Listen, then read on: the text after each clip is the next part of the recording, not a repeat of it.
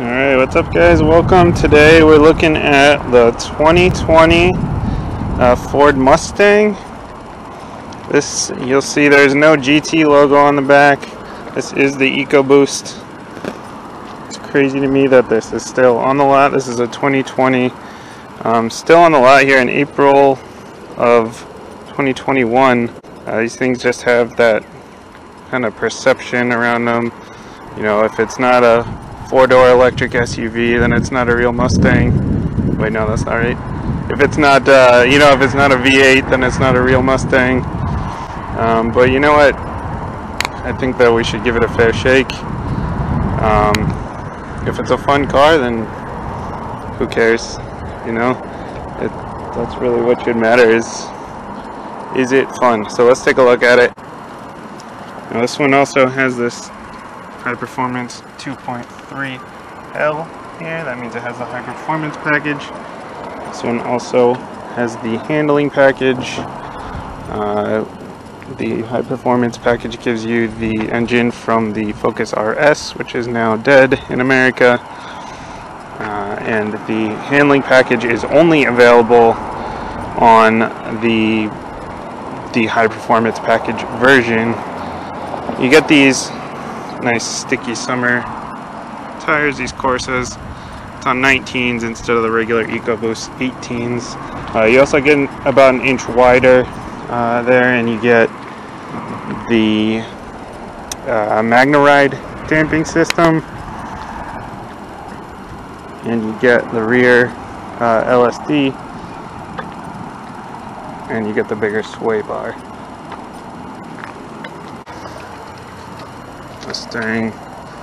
Up trunk take a look.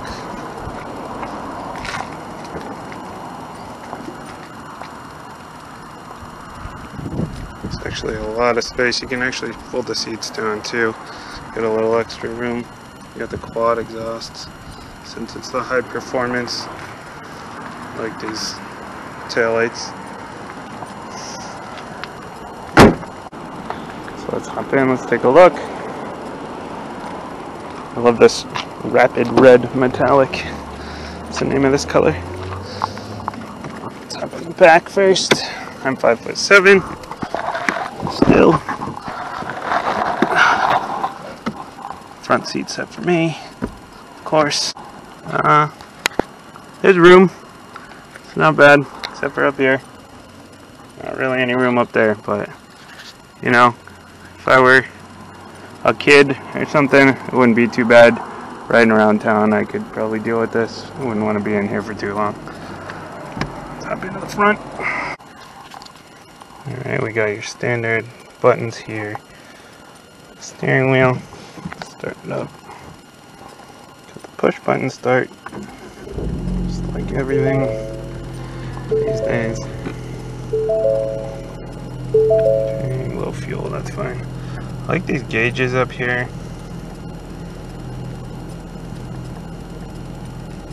Trip gauge.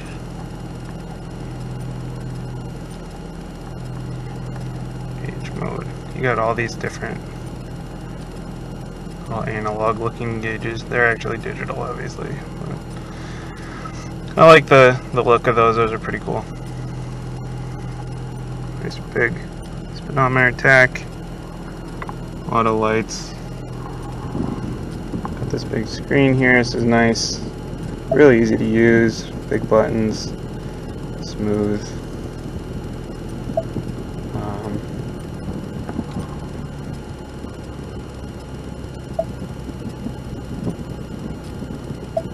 apps. Sync. Home. Climate. Audio. You know, standard stuff. Nice big buttons, like I said.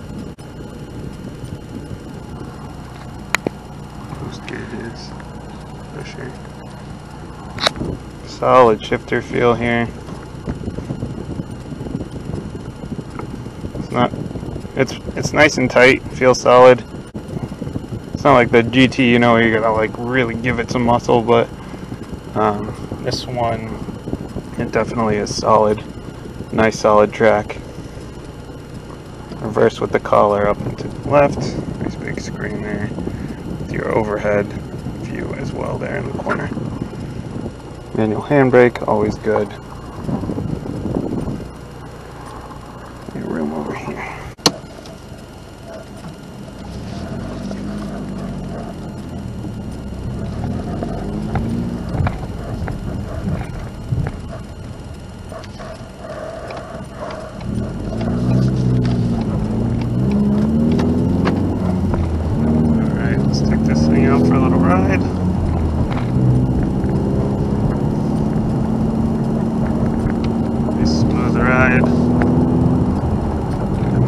ride is nice. Definitely opt for that. Now you're kind of low down. You got the the sports car thing going on, but uh, you'd expect to feel every single little bump. And I mean, you feel them, but it's uh, it's damped pretty pretty well. Definitely well. There's really not any turbo lag to speak of um, At least not anything too noticeable here.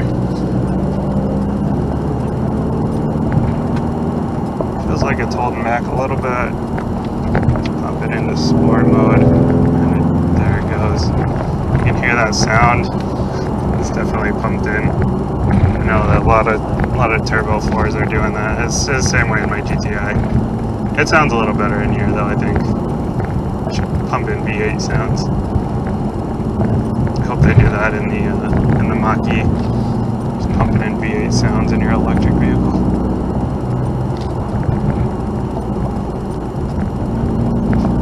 that sport mode helps a lot. It tightens up the handling a little bit, opens up the throttle. It responds really, really well.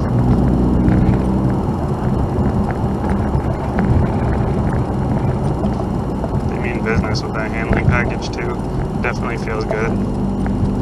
Through these corners, feels really, really confident.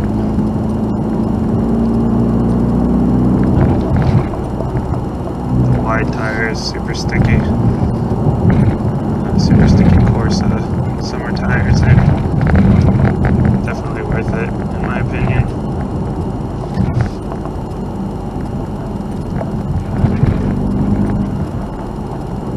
Steering feedback great. Definitely got your electric power steering with a little bit numb feeling. Um, but it responds pretty well.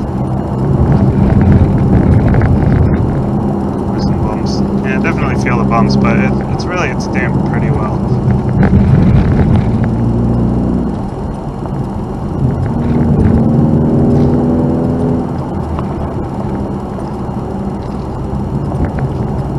Like I said, the shifter is solid. It's definitely it doesn't take as much muscle as the GT, um, and the clutch is a lot lighter than the GT, to me kind of makes it a little bit more livable as a daily. Um, you know, if you're stuck in traffic or whatever, people complain, oh, you shouldn't drive a manual in traffic, whatever. I, I don't mind it, but um, I can imagine if you're in something like a GT with a really heavy clutch. Um, the Mustang GT, obviously, uh, with a really heavy clutch. Um, you know, something that feels like it's on all the time. Um, it could definitely get tough uh, on that left leg, but uh, it's nice to like, just kind of be able to sit back and, and cruise in this thing.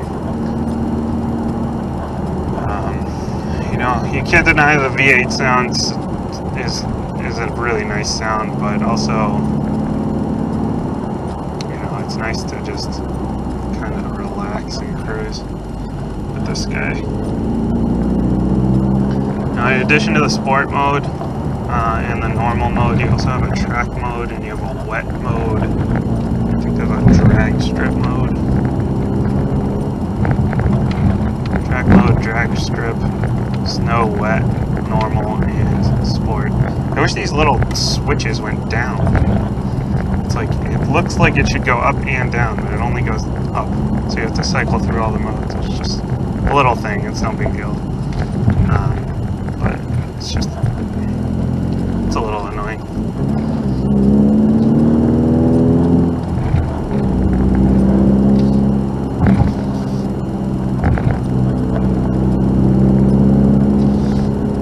You got uh, 24 miles per gallon combined in this one, uh, which is not too bad. I think the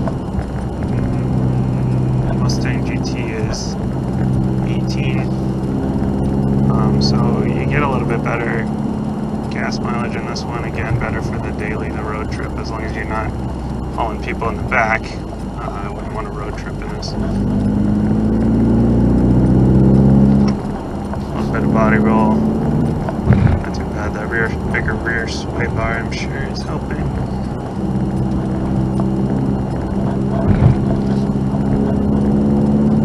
Peak power, 330 horsepower, up around 6,000 RPM uh, from that Ford Focus RS engine. You get a 20 horsepower bump from the regular EcoBoost, which is done at 310. Um, you also get the you get 350 pound-feet of torque up at 3,000 uh, RPM. Definitely a fun one to rev out.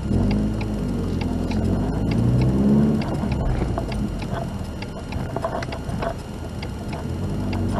I know it's a perception thing, but I don't know. I've, I've talked to people that are shopping for all kinds of stuff. They didn't really know what they wanted. They're looking at hot hatches. They're looking at Mustangs. Or it's like you don't know whether you want front wheel drive or rear wheel drive. You don't know if you want a turbo four or if you want a V8. But they also couldn't bring themselves to get a four-cylinder Mustang. And it's like, well, you're looking at a hot hatch, but you won't get a four-cylinder Mustang. I don't know. I just think the perception is but um, I don't know. If you like the car, go drive it, test it out, see if it's fun. If it's fun, get it. Who cares? Um, I don't know. I'm just overall that people talking about the different car communities. I don't want to be associated with this car community because then people are gonna, you know, if I'm in a Subaru, people are gonna think I'm vaping or whatever. It's like, well, just be the exception then. You know, the, Mu- the Mustang perception is not. I don't know. It's not the greatest perception already, but. Um, you know, be the one that changes that perception. You don't have to fall into that just because. Just because you're different, you know. Um, you don't have to fall into that perception just because the car you drive, you know. Try something fun. Pick something fun. You enjoy. Who cares what other people think? Be the nice guy driving the Mustang. One that doesn't drive it into crowds. Driving the one with the four cylinder.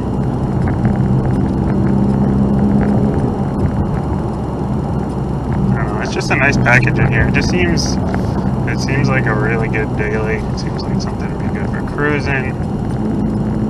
I got kids personally. I don't think I would want to deal with putting them in and out of the back seats. But uh, if you don't need that, and uh, you can get over the whole it has to be a V8 thing, uh, then I think this is really a solid option. I really like the shifter. And the clutch, it's light, but it's not like it's not like Corolla light, you know. It has a, a good feel to it.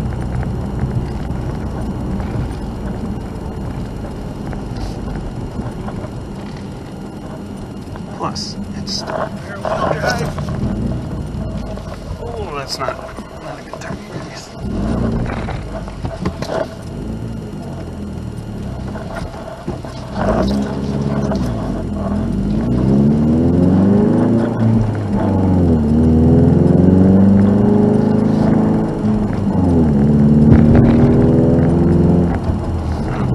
Turning radius is about the same as the regular Mustang GT, is not awesome, but it's alright. It, it handles it handles the turns well.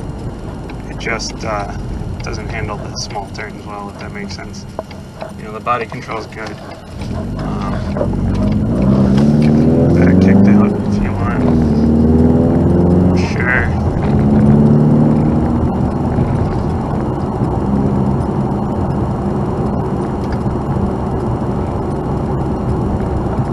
I'm not big into tracking cars, so couldn't tell you how that would go, but um, it's definitely just.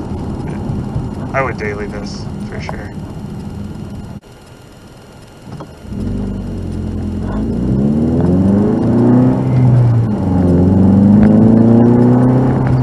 That's not a V8, but that sounds. That doesn't sound too bad, you know.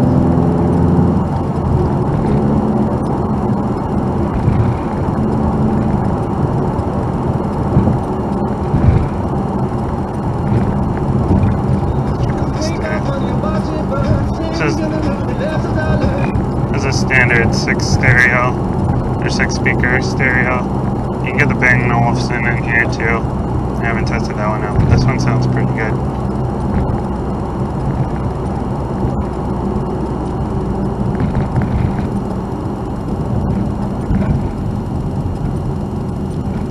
I'd have fun just revving this thing out too. Feels good to get it right up there to the red line.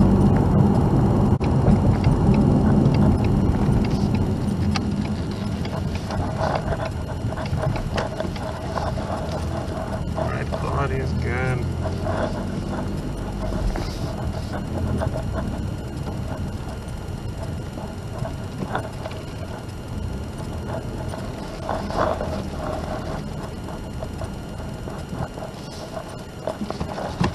Back this thing up, see how it goes.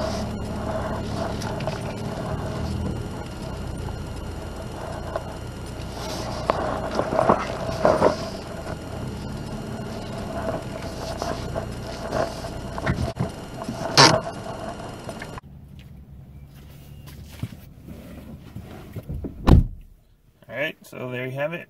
Uh, again, it's just crazy to me that this thing is still on the lot, but I think it's just a perception thing. I think people just need to get over the uh, all the stuff that surrounds a particular car. You know, it's a Mustang. It's got to be a V8.